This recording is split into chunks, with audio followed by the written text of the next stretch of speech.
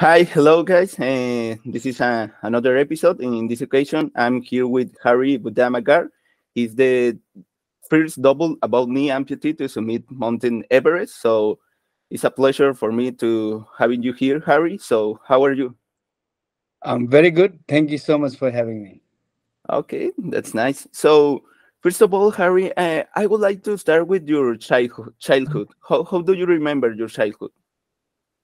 Ah, uh, that was quite, in, uh, it was quite interesting. So uh, I grew up um, uh, at about um, 2,700 meter in a cow shed, um, a very remote village in a western part of Nepal. Uh, then I went to school barefoot, walking about 45 minutes each way. Then, um, then you know there was no pen and paper so uh, i learned how to write on wooden plank with the chalk stone.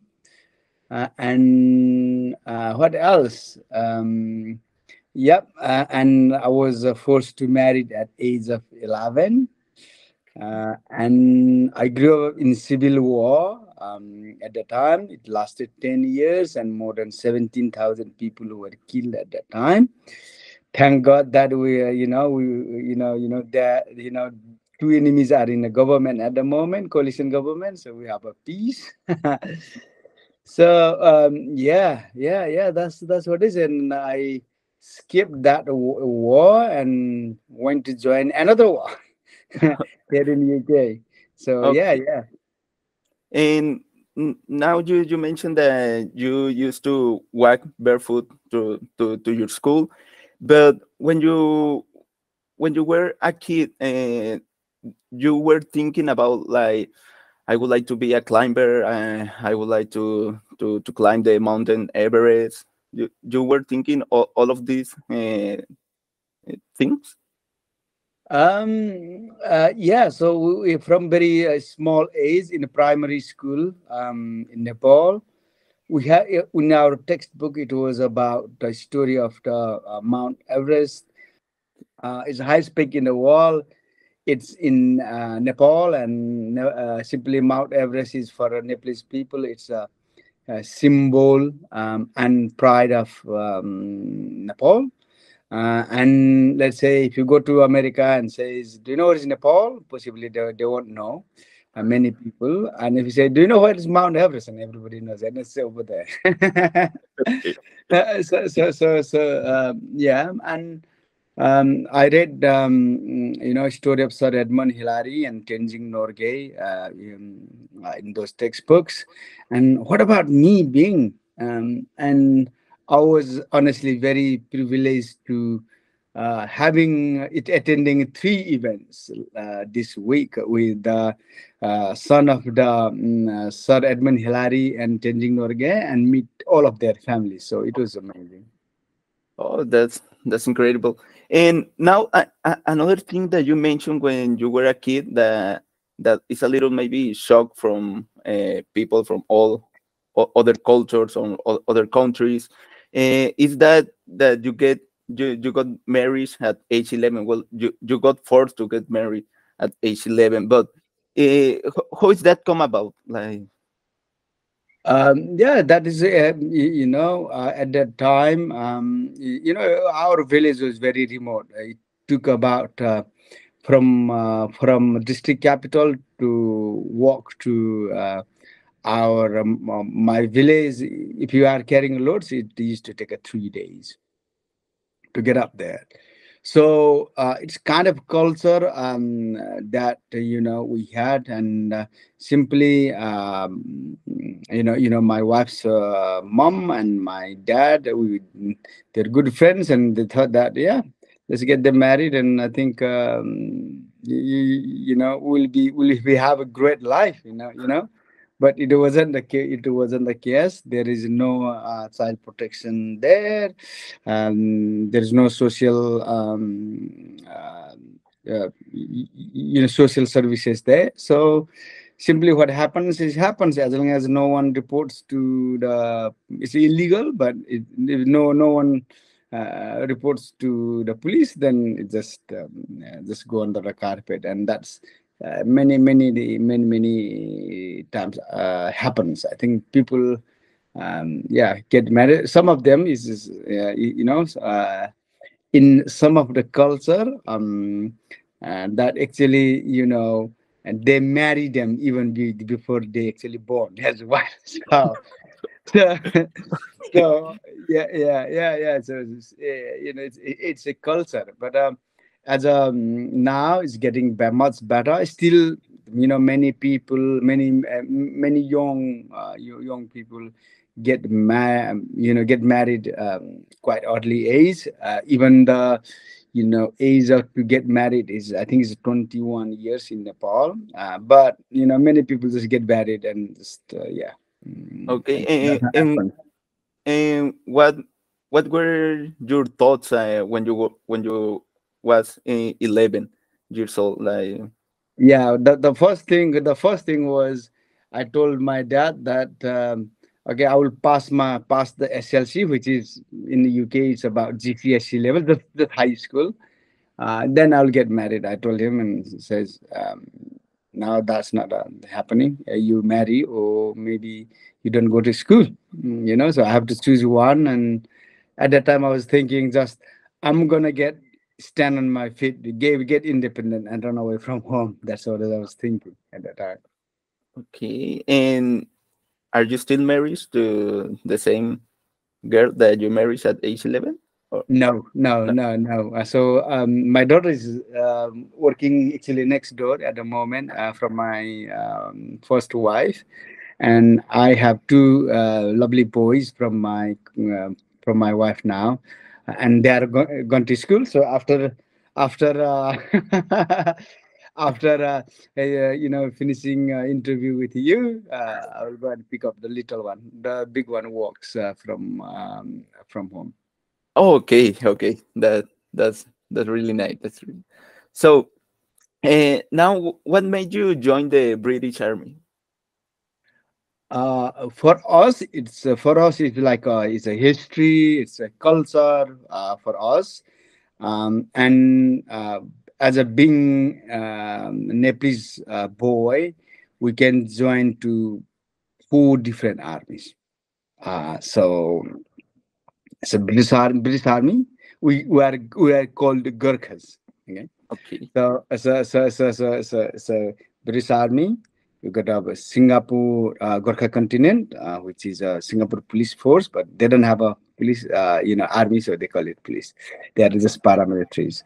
Um, and Indian Army, Nepalese Army. So you can join four, four, four different armies. And um, uh, we are called Gurkhas. So Indian Gurkhas, British Gurkhas, Singapore Gurkhas, you know, that's, uh, that's we've been called.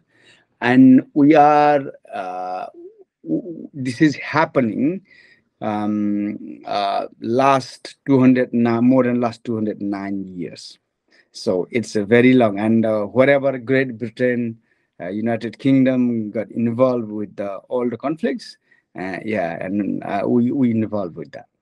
Okay, but it's like a, an obligation, like they obligate you to to join the, the, the in this case the the Gurkha army or? No no no no there's no obligations but uh, okay. um there, there, there, are many things. One is, is our is history culture one thing.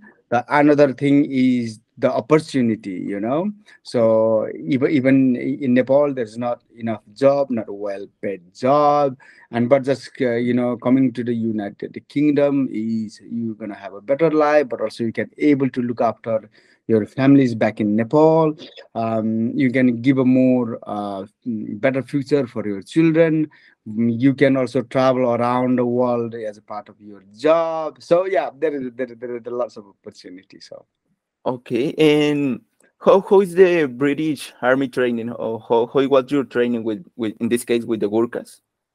Yeah so uh, we uh, so we have got gurkha regiment in the british army. So so so, uh, within the british army we have got gurkha um, uh, regiment. Uh, so um, Gorkha, Gorkha Brigade actually, and we have got uh, other regiments, a few others like we've got a um, you, you, you know a rifle company you call it. Um, we we we have got um, engineers, uh, signalers. We got a uh, you, you you know brigade band and and we got the logistics and we got the clocks so yeah yeah we have we got we got different but it, it, it's all the Gorkhas but all we have to do nine months of a basic training mm, basic army training so which is british our british counterpart they just do um, two months and we do nine months so so our, our, our is very tough.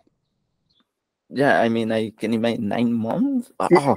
Yeah, even selection is very tough. Um, so um, uh, this year, more than twenty thousand applicants were there, and I think they they came around two hundred, around around two hundred, um, two hundred people. So it is very very tough but it's a well-paid job for a uh, Nepalese um, boy. So, so uh, also there's lots of opportunity as well.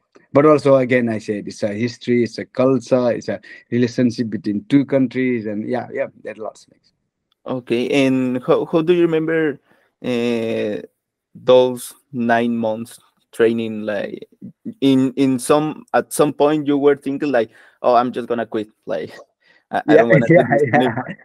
Yeah, yeah, exactly. Uh. I, I, I, I, I was, uh, I, I don't think that uh, I wanted to quit, but you know, you used to look at so in um, in winter, it's a very cold in uh, it's cold in in in um, UK, and uh, in the morning, sometimes you know the sky get clear, and you look at up, and you know you know you can see the plane stress. Oh, God, and when I, when am I going back to see my family and friends, right? And you know, so yeah, yeah, you you miss a lot, but slowly you get used to it, and uh, everything becomes fine. Everything becomes normal.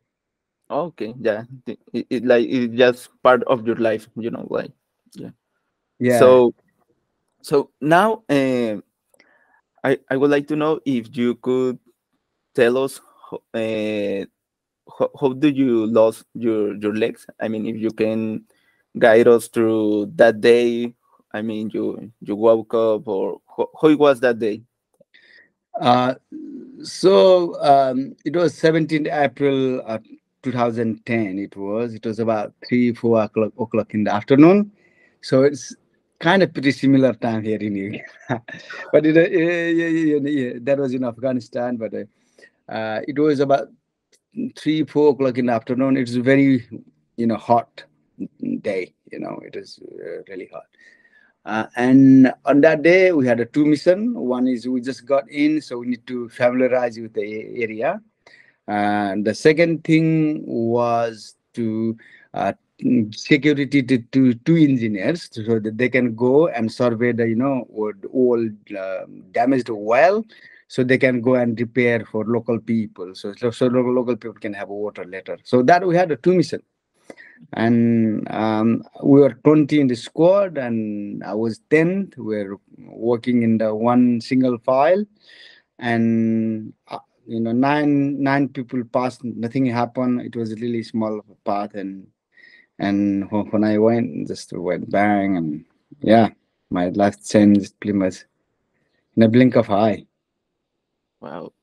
And I mean, do, do you remember that moment when you step on on the on the mine and what, what do you remember? Like all was black. And... Uh, it, it it it was constant. Uh, so I can't remember, you know, how exactly gone off.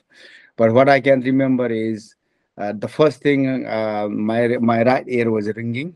Um, I had a radio on the left, and uh, yeah um, um, I looked down and my right leg wasn't there straight away. My left was there, but it was dangling on the bone and skins. Also injured my right arm. You can see here. Okay. Uh, yeah. So, so I couldn't able to move my right arm. Um, uh, and um, yeah, just uh, just uh, my my colleagues they did a great job and they passed me up and they stopped the bleeding and they stabilized me. They gave me first aid uh, and um, you know there was a no secondary device of that you, know you know um, ied or um, no one is you know fighting at us so so um, the guys called the heli on time and i was evacuated and i, I was saved my, they saved my life. Yeah. Okay, that's well. And now, uh, after losing your legs, your legs, uh, uh, what came to your mind? Like, what were your thoughts? uh, there, there are quite lots of things was uh, going on the first thing i thought was am i gonna survive and the guys after about five minutes uh, they said that heli inbound in 10 minutes and i thought yeah i think i'm gonna survive. Uh, then uh, then uh, I thought about my guys because I was in second in command in my team, uh, and um, so I had lots of responsibility, and we just got in. Uh, you know, a long way to go. Um, our job was to do the job, try to stay safe, and everybody go back home safe. You know, that was the kind of the plan but it didn't happen. Um, I was injured, and later one guy was killed, and another two got injured as well. So yeah, mm, yeah, it was quite tough, and you know, I was thought about you know um, going back to you know family. You know, in in Nepal, we say that you know when you, your children goes away, you know, for a long period of time, and you bless them that yeah, just please come back as a you win you know? So Yeah. and, and i couldn't able to do that to my family and uh, yeah I cried a lot thinking of that and uh, yeah. it was a ah, god uh, yeah that was a that, that was a hard time. I thought that you know my life is completely gone. I had to sit on a wheelchair for the rest of my life. I'm not sure what I was going to do, how to feed my family. It's not just me, but um, I had many families back in Nepal uh, who depended on me as well. So um, yeah, there is many things was running in my mind, and I thought that I would need a carer rest of my life and sit on a wheelchair. My life is completely finished. Maybe I'm gonna be the burden of the earth because I wasn't able to do anything and maybe I've done something wrong in previous life, and maybe I'm having this. You know, you know, this is kind of the things that was going in my mind because that's how I grew up, and that's um, some of my culture who they think um, this way and perceive this way, and but not just my culture, I think, but there's a many many, many um, uh, places around the world that um, you know um, uh, they do that. Yeah, and now that that you t telling me this, like it's it's different in Nepal how people see uh, other people with disabilities. I mean, they or did you feel like they treat you different when when people see you? Yeah, yeah, yeah, yeah, yeah. Even my step, my friends uh, start treating me differently, not badly, but just too sympathetic way. You know, it's like um, you know, uh, uh, Jenny, then just try all. Even even I don't need it, they start holding my hands, and you know, still they do sometimes. and and and and, and uh, when I went to Nepal, then I was like, um, you know, the guy popped in from another planet, you know, and everybody just gathered around and just they just kind of keep looking at until I'm there out of sight, and uh, you know, uh, and people even some you know dominated me, yeah, that you know, and uh, yeah, uh, it was not just it was quite easy for me to adapt my life myself, but not just my life, but my family has to adapt with me, and we together have to adapt with the society that who has got very conservative values uh, on disability. So yeah, yeah, it was pretty tough, but you know, one day, um, yeah, some you know, some point I was just drinking uh, a bit too much, and uh, you know, if I didn't drink, uh, my hands were a bit shaky, my brain got foggy and uh, yeah yeah i tried to take my life a couple of times and uh, then later i found that you know i kind of realized that you know i think i'm gonna die soon and if i die that's fine it's end of my story but um, my family will suffer because of me so I just wanted to live for my family, uh, and yeah. Then after that, it was completely like a magic. So I went to skydiving first, and you know I was in kind of uh, a suicidal mode at that time. So so how suicidal mode. So now if I fall down, half of my body is gone. If another half goes, that's fine. You know. Okay. Um, yeah, but but also I haven't done um, you know skydiving in my life, so this is the first time I was doing. So I wanted to experience that as well. But when I landed safely, mm, I realized that mm, even you don't have legs, you can do something. You know, I will have little confidence. Then after my aim was to what can I do physically, not having both legs. And I tried a lot of sports, adventures, and many things. And finally, I found that, you know, it's all possible. It's just different way of doing things. I might need slightly more help. I might need different kit and equipment, but you know, this is possible. If you think about the, you know, the world, um, um in old days, we were not able to run. Mm, it's not possible to run around the world and explore all. So we start designing the things, right? So we start designing things uh, that can take faster in the land, in the sea, and now we can go to the another planet, and we made that possible. So yeah, anything is possible as long as we adapt our, our life according to the time and situation and equipment.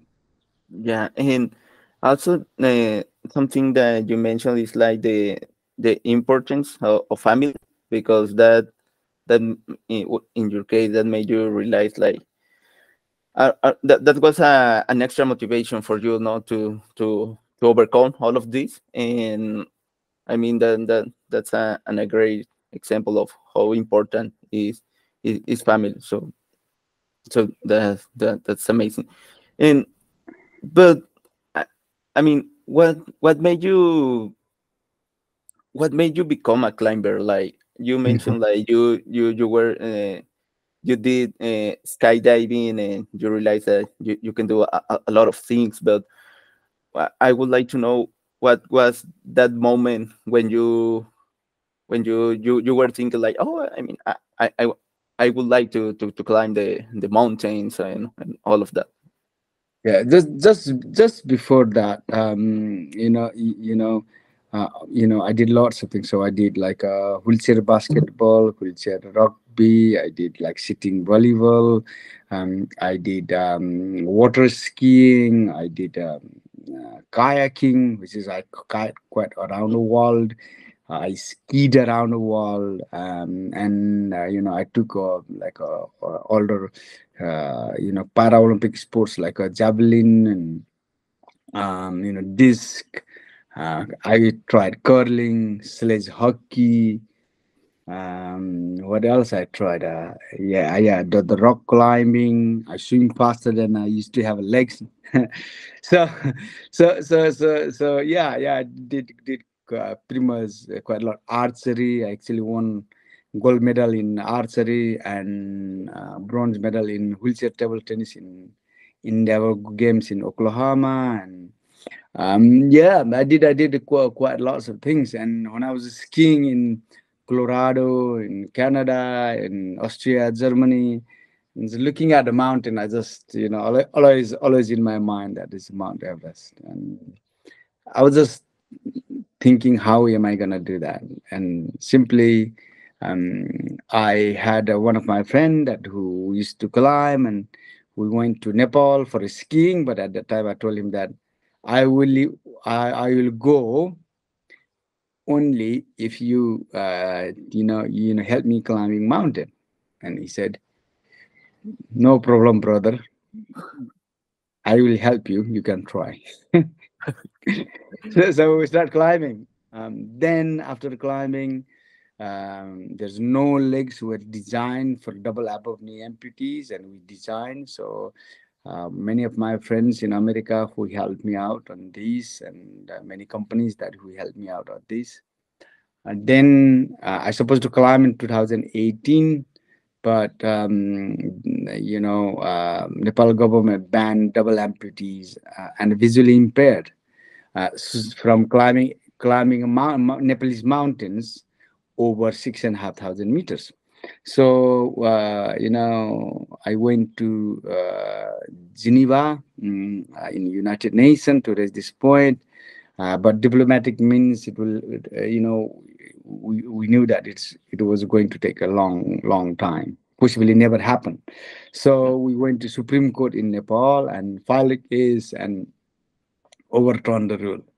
Uh, then after that, the corona popped in um, and couldn't able to do. And um, uh, and in 2019, we couldn't able to raise the enough fund just pursuing other people that I can able to climb the mountain and get help was a big, big challenge. It's bigger than climbing Mount Everest. um, and um, uh, yeah, and finally uh, we prepared in 2022, and yeah, in 2023 we climbed Mount Everest. Okay, and, and why did you choose this? The, in, in this month, like if the best months to to climb the the mountain Everest? Yeah, so climbing Mount Everest is mainly um, climb in spring season, which is normally April and May. Um, that is the season that uh, um, you know people climb Everest. This year was a record number of permits were issued. Uh, so 478 permits were issued this year, um, and it was one of the most deadliest year uh, this year. So 17 people died um, so far.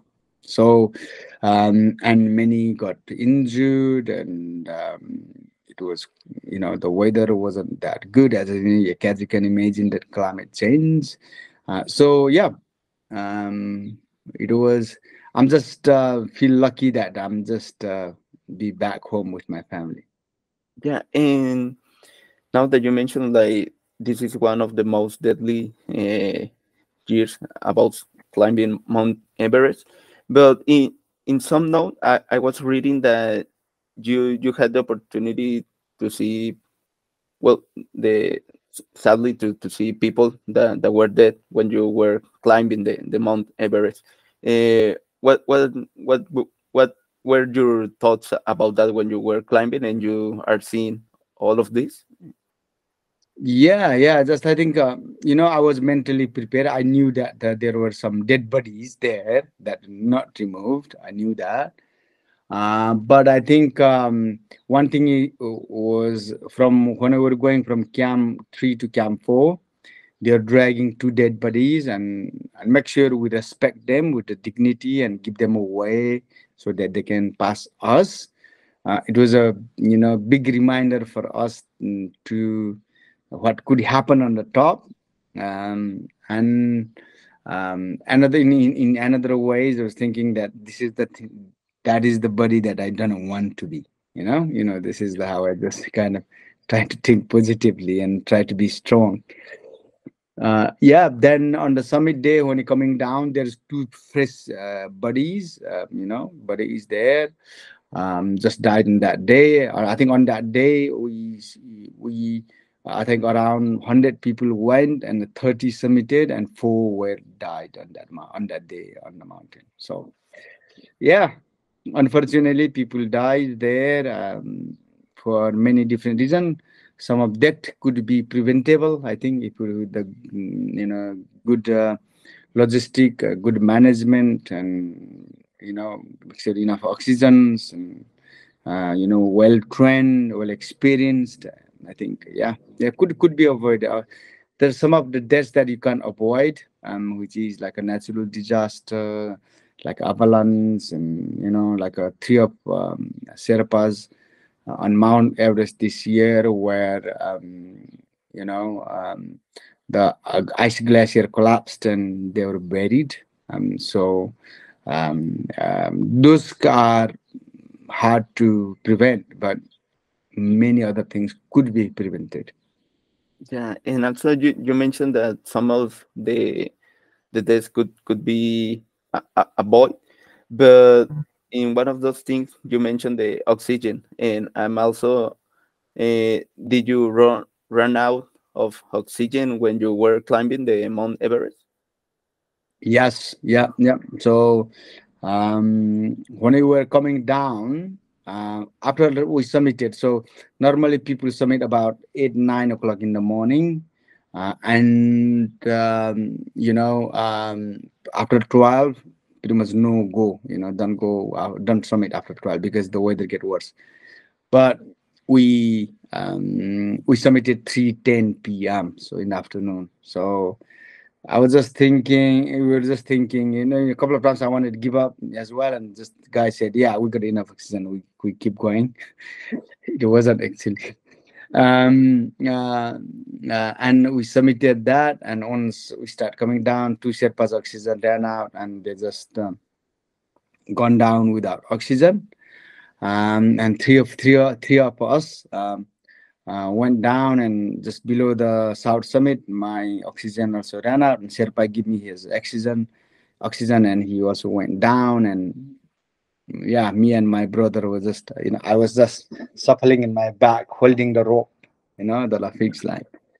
Uh, and by the time we go to this balcony we had about 30 or 40 minutes uh, 30 to 40 minutes oxygen left uh, left for us.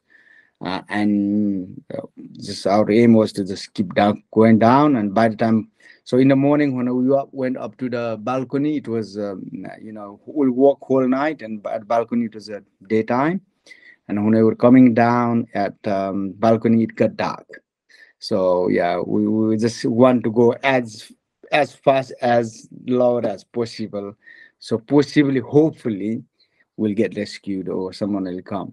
And luckily the guys uh, came from down with the two uh, bottle of uh, three bottle of oxygen one for himself two for us uh, and you know gave us some um, uh, gave us uh, some brought us some hot water and drinking hot water was like a going like a you know you know in a heaven. You know it's like it's, it's amazing.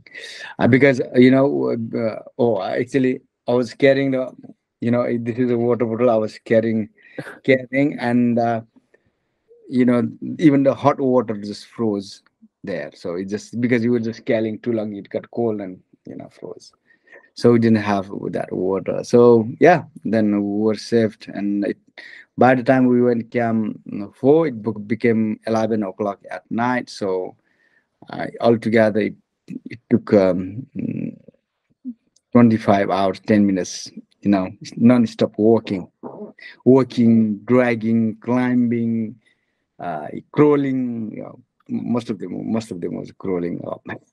Okay, it, it was like 25 hours to climb the mountain and go back. 25 hours, 10 minutes.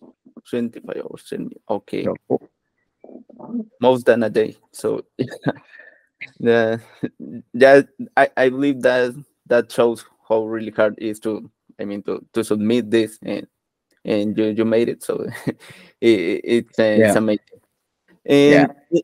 and how how did you how, how was your preparation for or how was your training be, before climbing the mount everest yeah before um, before that my aim was to um my aim was to go to um, uh, you know climb one six thousand meter and, and eight thousand meter, then go to the Everest. That was the plan. But uh, as a you know authorities banned us, so um, you know I start climbing more mountain. The corona popped in, and just I couldn't sit down, couldn't raise money, and I started climbing other smaller mountains. So uh, I climbed Ben Nevis, which is tallest mountain here in UK. Uh, Mont Blanc, which is tallest mountain in um, West uh, Europe, Western Europe. Uh, I climb uh, Mount Toubkal, uh, which is tallest mountain in North Africa, and Kilimanjaro, which is tallest mountain in Africa. Uh, I went in Nepal, trained some passes um, as well. So I, I trained in Jangla Pass, Trongla Pass, uh, I also climbed uh, to 6,000 6, meters. So uh, Mera Peak Um, actually, I climbed twice before I went to Everest. I actually climatized on Mera Peak and climbed, summited Mera Peak uh, uh, and um, Chulu Far East. And I think on those mountain, I think no no no amputees has submitted. I think uh, any of those mountain. Yeah. So so you just don't achieve this, like like to to climbing Mount Everest. You achieve to climbing all of all of those other mountains that wasn't in the plan so it just it just happened because it, you know i had to push my expedition back so what i what i should be doing in between and i make sure i must be keep training so so yeah and i think that that's called like you are training you are normal and someone told you hey you you achieve a new record like well yeah, i'm just yeah. training yeah yeah pretty, pretty much all of them uh, they were all records okay one way or another all of them Okay, that's good. And and what what did you feel when you when you you achieved this big mountain, the Mount Everest? Uh, what, what what were your your feelings? Uh, after doing Everest or before doing Everest? Uh, before and after, I would like to. Yeah, before it was like always I was thinking last five six years how to climb it, and from my childhood I was thinking about Everest. You know, you know. Um, after climbing, I didn't believe it. You know, you know, I always last, you know, whole of my life I was just thinking to climb, and now it's done. You know, I was is it really done? you know, you know, just like uh, it, I don't feel that it's kind of real. Even when I get injured, you know, you know, in army we trained. Oh, you got, you know, you you got a gunshot wound on your chest, and you start pretending to ah, right, right, and the guys came and pat you up, and they do the drills um, and when I got injured, and at one point I thought, is it is it real or you know, am I we trade or we were in trading and it was real. And also, yeah, Everest was real as well. Yeah, it was done. Yeah, it's done now. Okay, that's amazing. That's amazing. And and now how, how do you think or do you feel like your life has changed since you climbed the Mount Everest? Mm, I think for me, from from my inside, I'm the same person. Uh, you know, even um, you know after losing my legs, people start treating me differently. But I, honestly, I got the same heart and same mind, right? and I'm still the same. I'm the I got the same heart, same mind. Um, yeah, one thing is changed is um, you know uh, from Nepal government, tourism minister to prime minister to president to uh, you know you know many ministerial house of speakers to you know many many who invited me in their office and congratulated me and i got a lots of uh, certificates around here lots of uh, you know. Um yeah i have just um you know i, I just got a letter here. Uh, from buckingham palace. Yeah, yeah. So uh yeah so yeah um uh, I, um, uh, I, I, you know, lots of, uh, you know, people who contacting me and congratulating me and uh, that is thing. But I think honestly, from inside my heart, I'm the same person. The, the, that's amazing. And I think this this would be all. I mean, I really appreciate that you take your time to doing this interview uh, I'm really thankful that you being here. I mean, congratulations also for for achieving this this hard, super hard record. and and yeah, I I just would like if you have some word from people that maybe are going through the same as you or maybe they want to achieve something i don't know if you have some some words for for them um uh, I think I would say one thing. I have made uh, mm, a motto that uh, life is all about adaptation and nothing is impossible. Uh, as long as we can adapt our life according to the time and situation, you know, uh, we can able to uh, succeed. You know, this is what is a human revolution. I think everything is uh, we have right now is from challenge at some point in time they challenge themselves they work hard uh, you know they invested their time and money So we are privileged to you know, I'm talking to you, right? This is our somebody telling us and yeah. also your audiences, your listeners, and your your viewers uh, as well. So so this is uh, this is not free. This didn't came this didn't pop in. God didn't bring us this one. So somebody, some human worked really challenged themselves, worked hard, and made this possible. So um, um, um, uh, as long as we adapt according to the life, uh, according to time and situation, then we will make anything uh, is uh, possible. You know, I climb with the shorter legs on the mountain. Uh, I, am waiting other legs now, and you know, working legs, and you know, if not, I would be on a wheelchair. It's like it's it's a very simple principle. Like say, if it's too warm, we put um, you know, uh, umbrella on or AC on, right? Um, it depends on where you are, and if it's too cold, we put a jacket on, right? So, so, so we do that all the time, but this is really, really powerful. We need to understand this, you know, even in business as well. You know, in Corona time, we adapted differently. You know, now it's different, right? So, in time, will change up and down, and we need to kind of with the flow of the up and down. You know, you know, the time as well. If we we don't adapt, we won't exist. So so like dinosaurs, right? So yeah. so so make sure we adapt our life according to the time and situation, uh, and make things happen, and also uh, help the. Um, hopefully, our challenge today will help our future generations. Like, uh, you know, if Tenzing uh, Norgay and Edmund Hillary they didn't climb the Mount Everest, then maybe we're just waiting someone to climb right now, right? Who's gonna climb?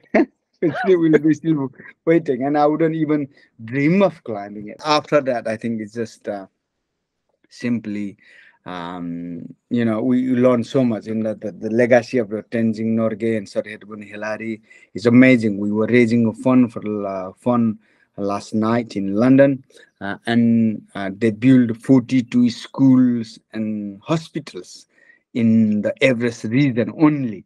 And you know, you know how many people uh, that you know benefiting from that. Know, how many people get educated so that they can have slightly a better life. So, um, yeah, I'm 43, um, and uh, you know i'm not i you know i have got very short time to you know work hard and make some difference and i'll keep doing it.